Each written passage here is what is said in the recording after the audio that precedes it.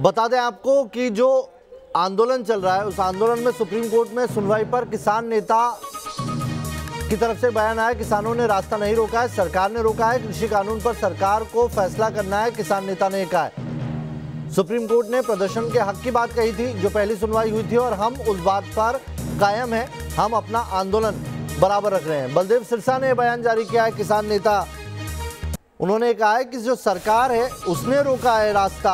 हमने नहीं रोका, हम अपनी दिल्ली जाने के लिए जा रहे थे और इसीलिए हमें रोका है। क्या कहा है ये सुन लेते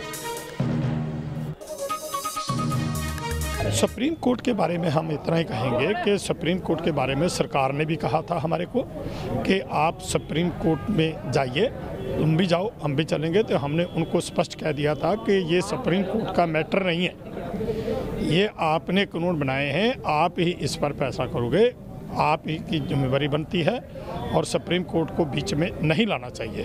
सुप्रीम कोर्ट पहले फैसला कर चुकी है, जब सरकार इस रास्ते को खुलवाने के लिए सरकार गई थी तो सुप्रीम कोर्ट ने ये कहा था कि किसानों ने रास्ता नहीं रोका।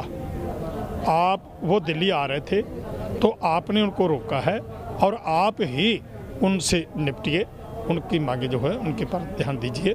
तो ये सरकार की जिम्मेवारी है। जो फैसला सुप्रीम कोर्ट कर चुकी है पहले तो उसके बाहर थोड़ा जाएगी।